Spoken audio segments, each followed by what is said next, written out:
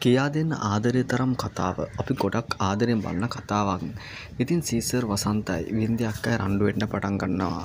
ඒකට ලොකුම හේතුව තමයි අනත් එක්ක බයිසිකලේ ආපු කේස් එක. ඉතින් ඒක තමයි ලෝය මහත්තයා දුන්නේ ගින්දර. ඒ කියන්නේ වස්තුගේ අතේ තමයි මේ පණිවිඩය කොහොම හරි වසන්තට පෙන්නුවේ.